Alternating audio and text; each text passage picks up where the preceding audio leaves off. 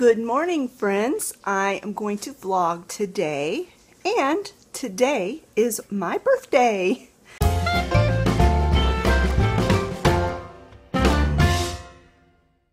So I thought this would be a perfect day to vlog. I've already had my breakfast. I'm going to make a yogurt parfait for my breakfast, and I'm going to start off with this dairy-free strawberry yogurt uh, made by Silk and this is made with soy milk.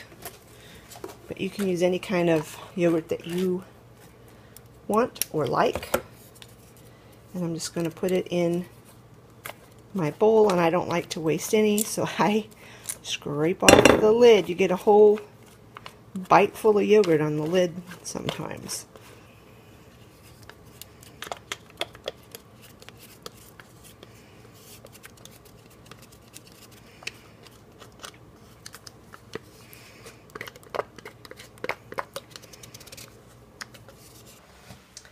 Once I have the yogurt in my bowl, I'm going to top it with some organic raspberries. I would recommend that you use organic berries whenever you possibly can because they are so highly sprayed with um, pesticides and um, other chemicals.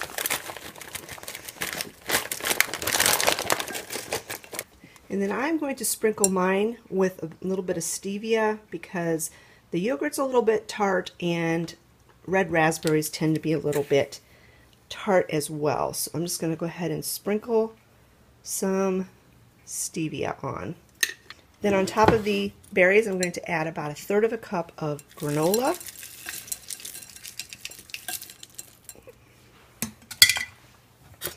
This is just a mixture that I put together with some store-bought granola, um, some unsalted pumpkin seeds and unsalted uh, sunflower seeds. And there's also a small amount of dried fruit in there. I just had a little bit left in a bag, so I went ahead and dumped it in as well. Then the last thing that I'm going to add to this parfait is a scoop of hemp seeds. Hemp seeds are high in omega fatty acids, and they are an incredibly good source of protein and good fats. And that's my breakfast.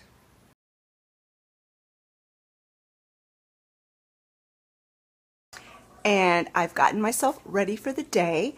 And I do have a little bit to do in the kitchen today. Um, I'm not going to cook my or my dinner, um, but I am going to cook the potato salad to go with my dinner. Um, I decided I wanted a summer um, themed birthday and I wanted hamburgers on the grill and potato salad and all of those good things that go with summer foods. I'm just ready for summer foods. But I found a recipe to make potato salad in my Instant Pot. So I thought I would share that recipe with you. Travis is in the kitchen right now finishing up getting his breakfast and as soon as he's out of my way I will get started on the potato salad and I'll bring you along with me. I don't have an Instant Pot. I don't have that brand. I have the GoWise brand, but um, it's a pressure cooker just like the Instant Pot. And I have been very, very happy with this.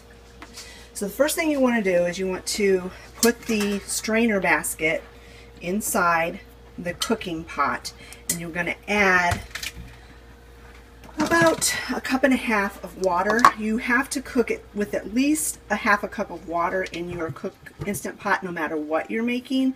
But for things that require a lot of steam, you want to use a little more water. So I'm going to put about one and a half to two cups of water in the bottom of my Instant Pot or my GoWise. If I say Instant Pot, just know it's a pressure cooker.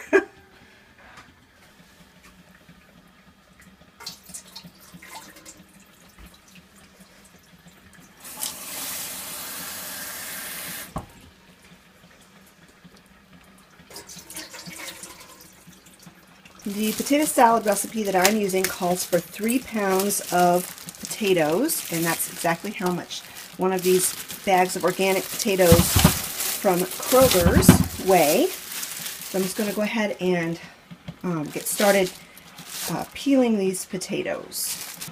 If you had really like fresh potatoes, like your own homegrown ones, or ones that you know are really fresh, like these are older, you can tell because they're starting to sprout. But anyway, if you had um, newer ones, you wouldn't even have to peel them. You could just scrub them real good um, to make sure they're nice and clean. But these potatoes, like I said, these are older. They are starting to get sprouts and stuff like that. So I am going to go ahead and just peel these potatoes.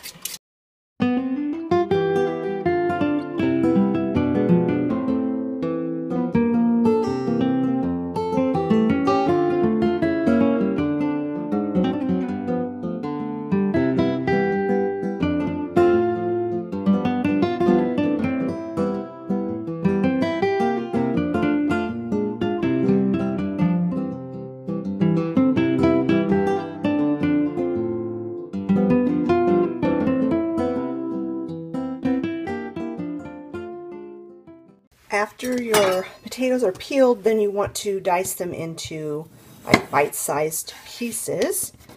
And I thought while I was dicing these up, I would have a little chat, so I'm kind of like multitasking. Hopefully this video won't be too horribly long um, this way. But uh, I wanted to talk about birthdays, since today is my birthday. Um, to be honest, I am not a fan of birthdays. Um, I know a lot of people are. They're like, oh, my birthday is my favorite day of the year and, and stuff like that. And I think, you know, a lot of times I've heard, you know, people that have said that are like in their 20s and 30s. so it's like, yeah, I can see that. But for me, you know, I'm not a fan of birthdays. In fact, the only birthday I really kind of was excited about was when I turned 20. Um, you know, you're not a teenager anymore. And my teen years were not not all that great, so I was kind of happy to be rid of them and be done with them. But for me, every time I turn a decade older, I have a really hard time. It, I don't really understand why, because it's like the alternative is, you know, it's better than the alternative, having a birthday. But I don't know. I just like have this mental block for every time I turn another decade older. And like I said, except for when I turned 20. Um, and actually last year was my was the year that I turned a decade older. Um, and I didn't really even want to celebrate my birthday at all. I just like, let's just forget about it, you know. I would, and I was kind of like depressed for a long time after my birthday. And this year, and I, I think after that, like, big year of turning another decade older, it the, the sec consecutive years after that are easier for me. And so, you know, obviously, I knew my birthday was coming. And I could have gotten really depressed about it um, again. But I thought, you know what? It's stupid. It's stupid to be depressed about it. Everybody gets older. Everybody has birthdays. And really, today, I'm not a year older today. I'm one day older than I was yesterday. And starting tomorrow, I will be heading into my next year of life. So, or maybe is it today? I don't know.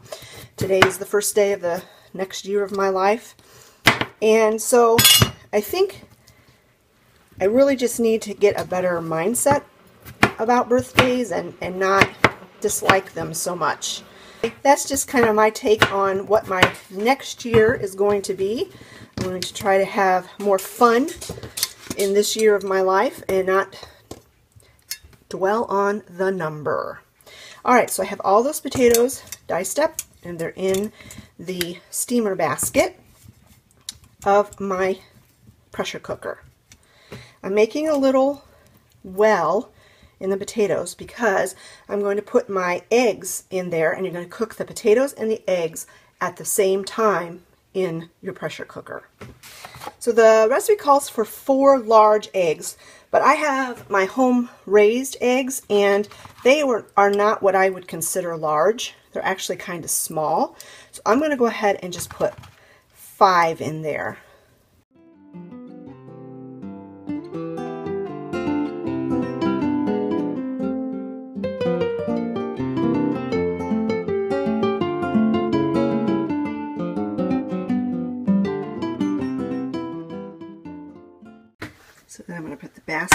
Down inside. Sorry about the shadows. I'm right near my kitchen window. It's really hard to film in here. I'm going to go ahead and put the lid on my pressure cooker, lock it in place, and then you got to make sure that it's on the pressure setting. And then you just cook this on high pressure for five minutes. I'm going to do the manual pressure for five minutes. Now it will take time to come up to pressure once it, see it's heating. It's on high, it's heating. And um, it's going to come up to pressure and then it'll cook for five minutes and then it'll start coming down off of pressure. Now I usually let mine come down off of pressure for a little bit um, before I do the quick release. Alright, so the timer went off a, little, a few minutes ago and it is coming down off of pressure, but I am going to go ahead and finish uh, giving this a quick release, and you have to be careful because that steam is very hot. I always use, I always use an implement to open up the steam. I'm going to go ahead and let this finish coming off of pressure, and then I'll test the potatoes and see if they are done. So the pressure is completely released, so now it's safe to open the lid.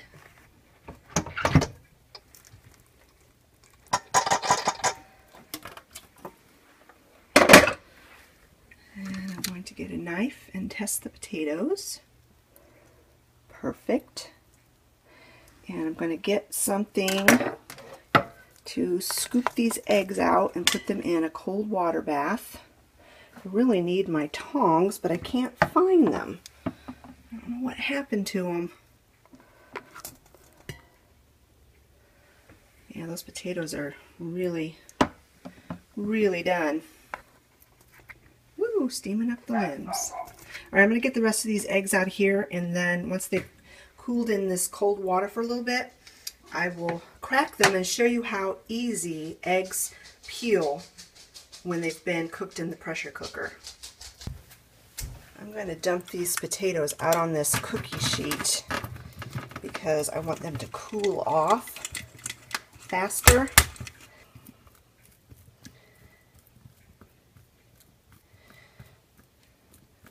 So let's see if those eggs are ready to peel now. Now, I tell you, I was very skeptical the first time I used my pressure cooker for making hard-boiled eggs. Because I tell you I've tried every other method to peel eggs and nothing works perfectly nothing works 100% except for the pressure cooker. So all I did was just cracked it and I'm gonna go ahead and put the shells in this pan. I'll put them in our compost. And look at how easy. And these are fresh eggs, homegrown eggs, less than a week old, and it peeled perfectly. And it's not a fluke. This is the next one.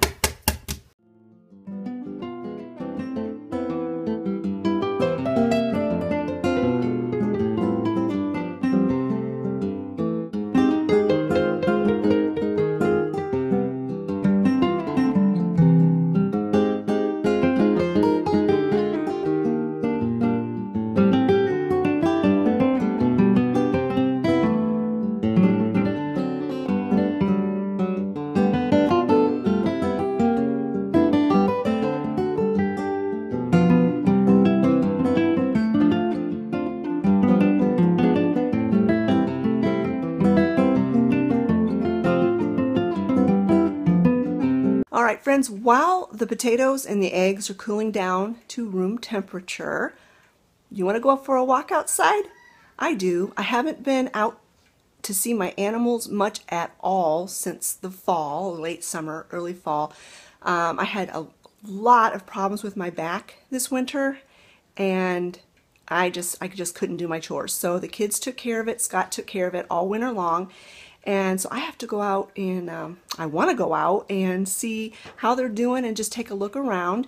Now, be mindful. Our yard and everything is going to look terrible.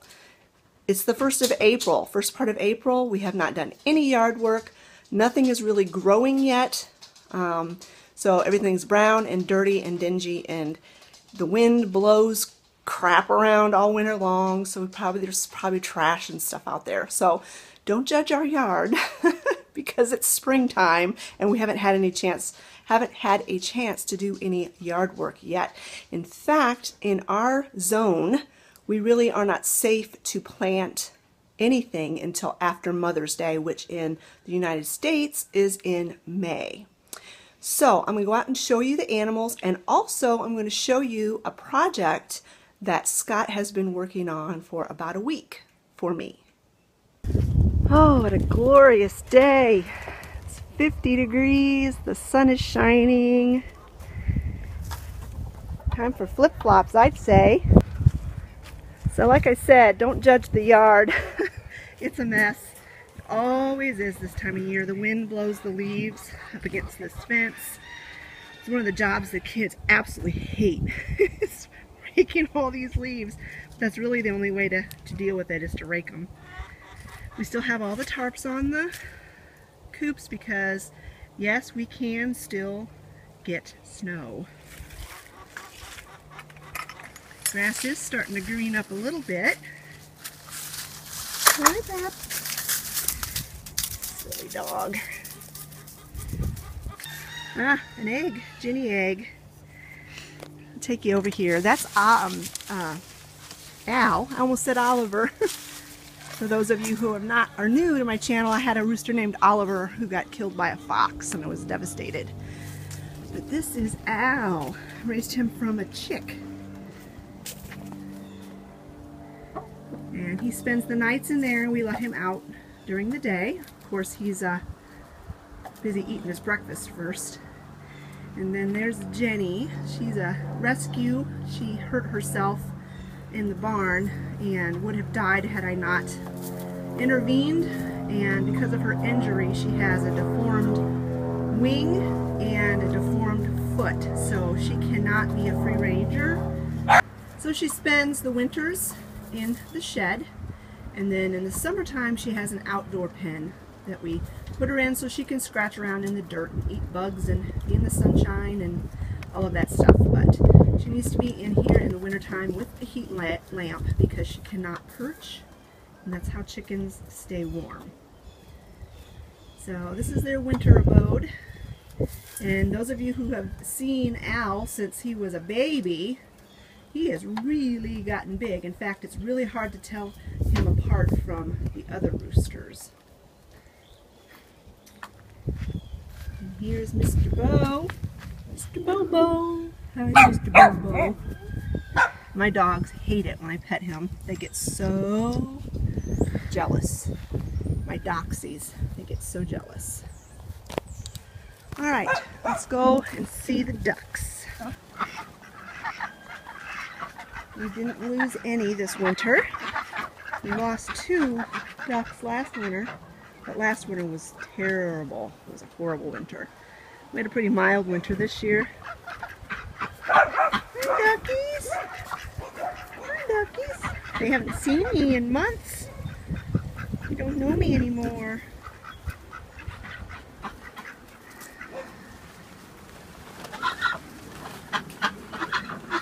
And my, here are my three ducks that are, um, they have leg and hip issues, so they have to be kept secluded. Wow, their pan really got beat up this winter.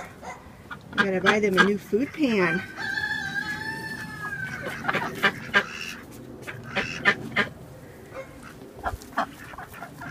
Yeah, they're doing good. My kids have been taking good care of them. Yeah. they're really ready for their swimming pools to be set back up. But it's got to be another, probably three weeks, four weeks, not till the first part of May am I going to um, put their pools back up. Just till I know there's not going to be any more freezing weather. It looks like that tarp came loose the winter. It wasn't supposed to be hanging, you know, laying on the ground like that. So here are my other chickies. This is my old lady. My oldest chicken. It's the last remaining of my original flock.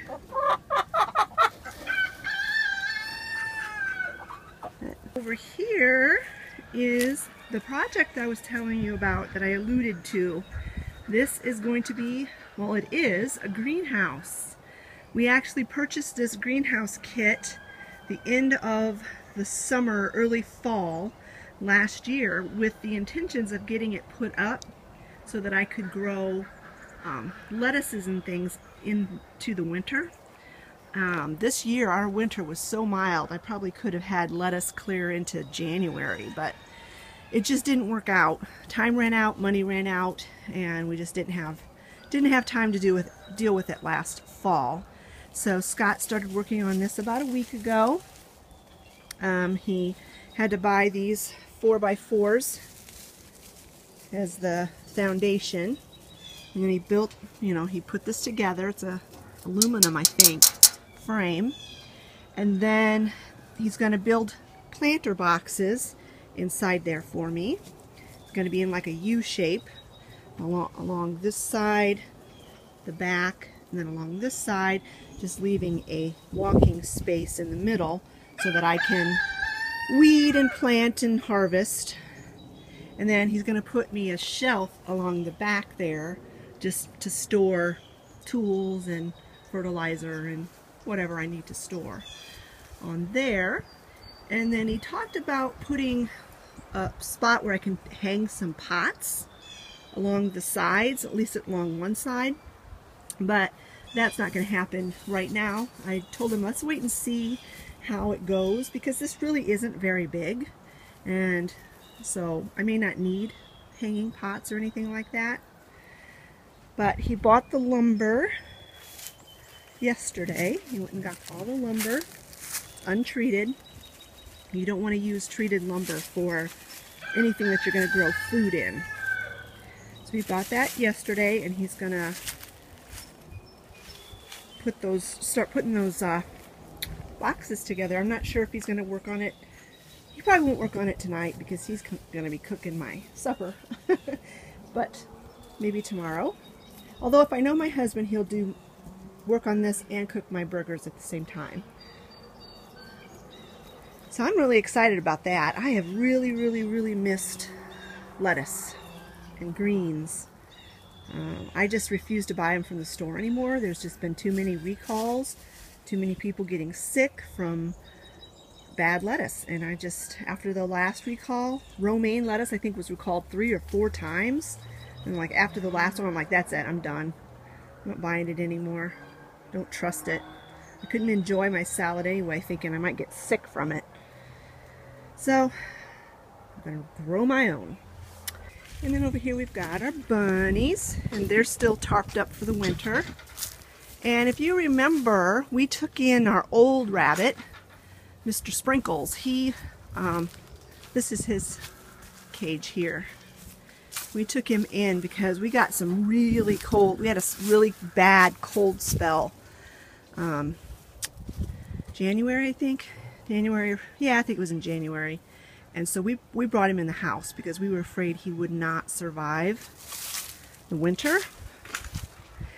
And so he's been in our basement all that time, but he is coming out today. Today is his moving day. He's going to come back out into his outdoor cage and he'll be out here until the weather gets really cold again and then we'll bring him back in the house. Livy has not taken care of the rabbits yet, you can tell. They need water. This is a little Dutch rabbit, and she or he, we don't know if it's a he or a she, but is very shy. So he's inside of his box.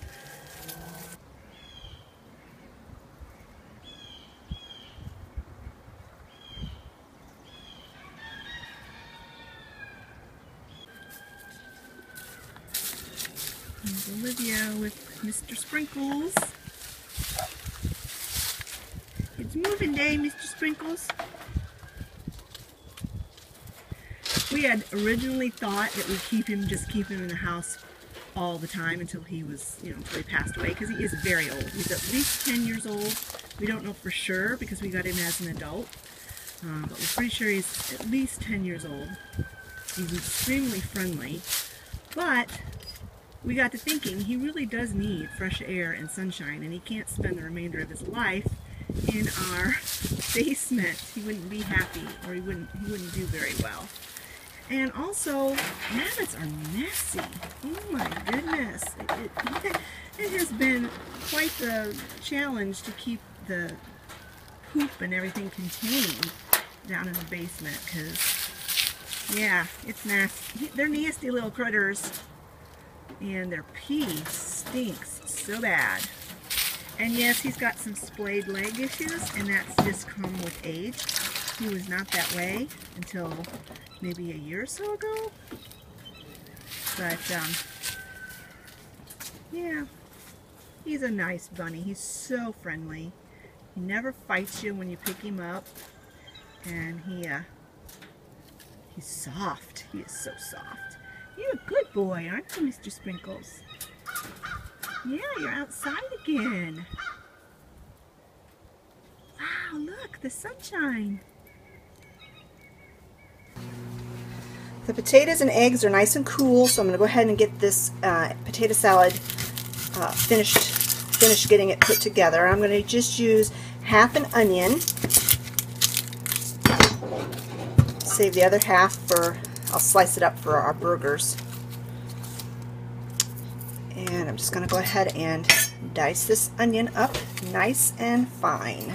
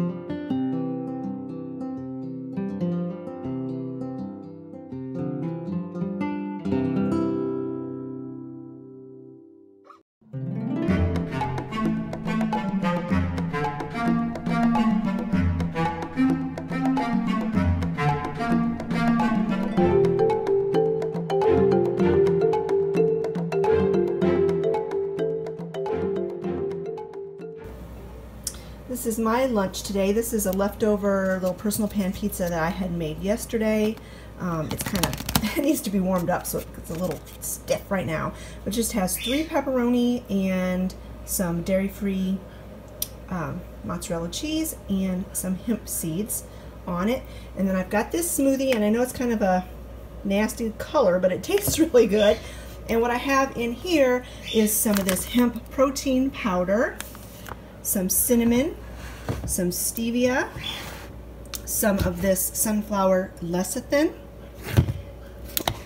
and some of this pure matcha green tea powder. And then I threw some frozen kiwi in there because I'm out of ice and water. And that's what's in my smoothie. So I'm going to go and enjoy my lunch. Yummy burgers. The two in the middle are turkey burgers, a lighter one. Woo, look at that smoke. Smells like summer.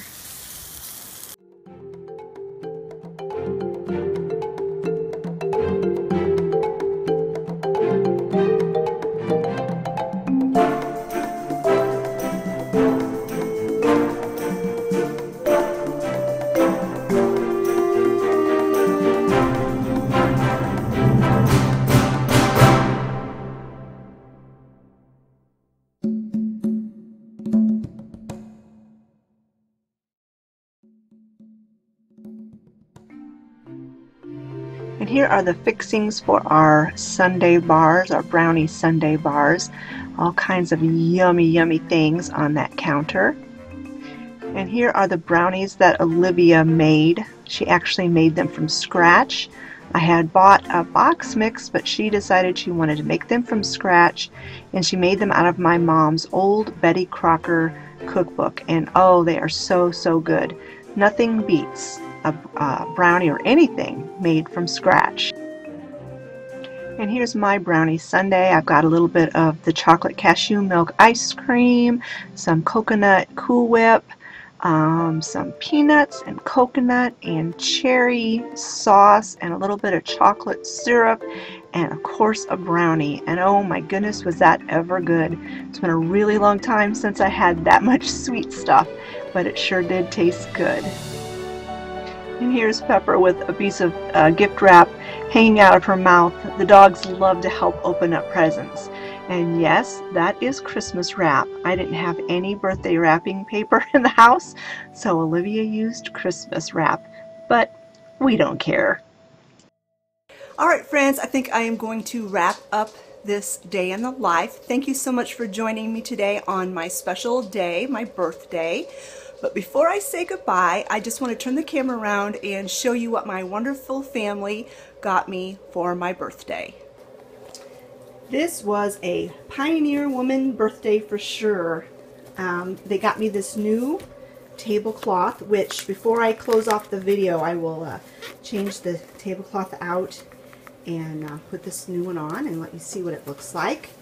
And then I got these really super cute placemats, but unfortunately I don't they don't match this tablecloth. So I can't wear them, or can't wear them, I can't use them at the same time, but that's okay.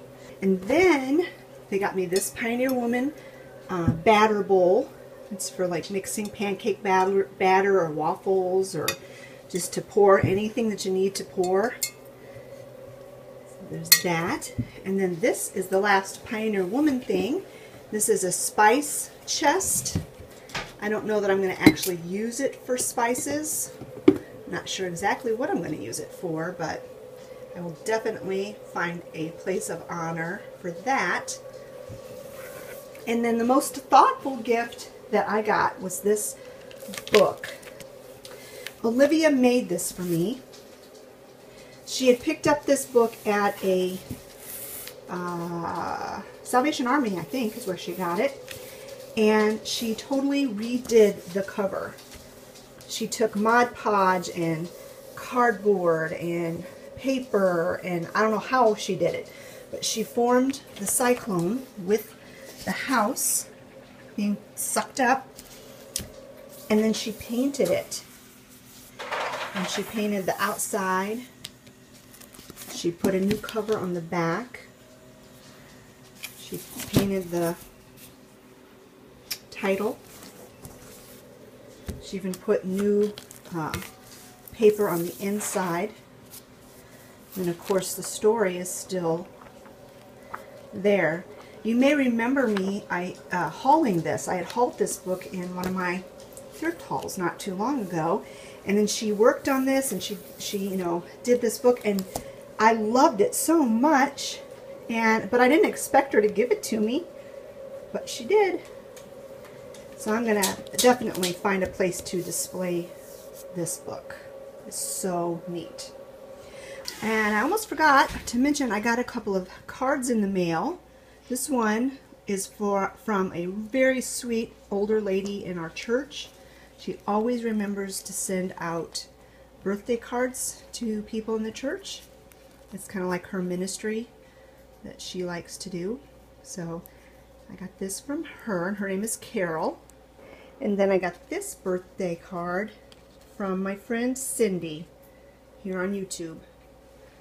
Thank you so much, Cindy. That was awfully sweet of you to remember me on my birthday.